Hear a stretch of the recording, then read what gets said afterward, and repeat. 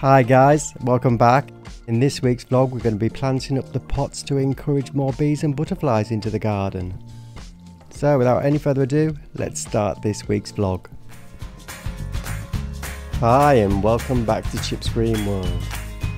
I'm Chip, this is the courtyard, that's Spud, Flower, that's Gypsy Boy, the work, the jobs. Join us on our adventures. Let's get to work. Right, so these are the two pots we're going to be planting up today. And these are the plants we're going to be putting into the pots. And it looks like the bees have already approved the plant selection. Buzzing around all over the place. Very happy little bees. So these pots are going to be mirror images of each other. Exactly the same plants in each pot. I've got a couple of Achilleas, catmint, four salvias and two Jacob ladders. That said and done, let's get the pots prepared. I'm going to reuse the old compost, so first thing to do is to empty a third into a bucket, down to the size of the pot you're planting. We can then start adding some food to the pot and then to the bucket and mixing it thoroughly in, refreshing the compost completely. And another tip to moisten the soil before you start.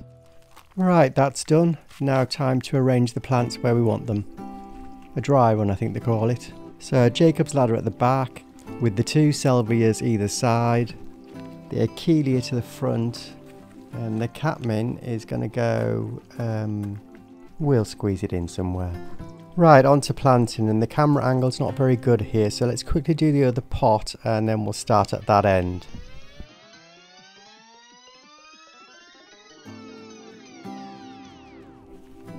Right, so first thing to do, take it out of the pot and pop it in.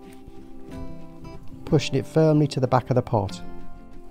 Then start adding the compost, packing it up the sides, firming it in as you go along.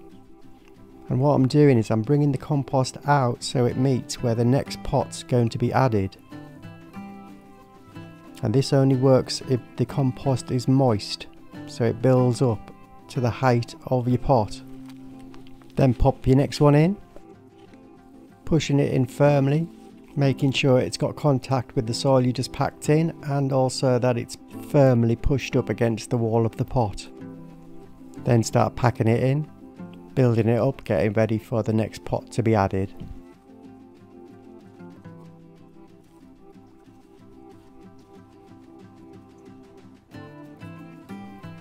Right, I think we're ready to try and get the catmint in. We're going to put the catmint in the middle. Pushing it in firmly to the compost you just packed in. And then start packing. Filming this is making it quite awkward as the bucket should be where the camera is, so I'm having to cross my arms every time I go to get the compost. So a good tip, make sure you've got the bucket in the right place. Makes planting so much easier and less awkward. And if you think putting all these plants in one pot may be a bit tight, just think of it like student digs for the summer. A secondary stage before going out into the big wide world. Right, that's the other salvia going in. Now to pack it in. Layering the compost up, getting ready to plant the last Achillea. The bees are buzzing all around me, wanting to get involved. I'll have to be patient. Right, we're nearly there now. Time to pop the last one at the centre front.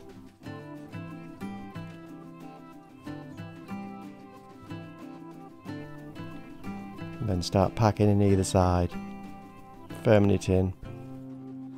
Watching out for the bees as they're little daredevils look. You can't wait until I've finished the busy little bee.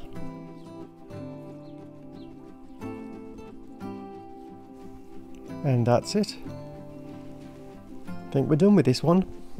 We just got to do a bit of packing at the back just to make sure all the compost levels are at the right height. Making sure everything's nicely bedded in. And the last step to do a bit of untangling. The catmint looks like it's got all its legs and arms stuck in the air, so let's make it a bit more comfortable. rearranging to make it look like these all naturally grew together.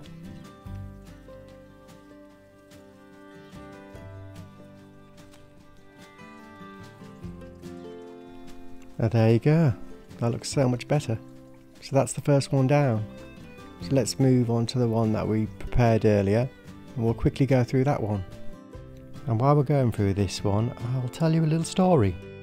Me and Gypsy Boy were in the garden and Gypsy Boy turned to me and said, Why do the flowers lose their petals and die?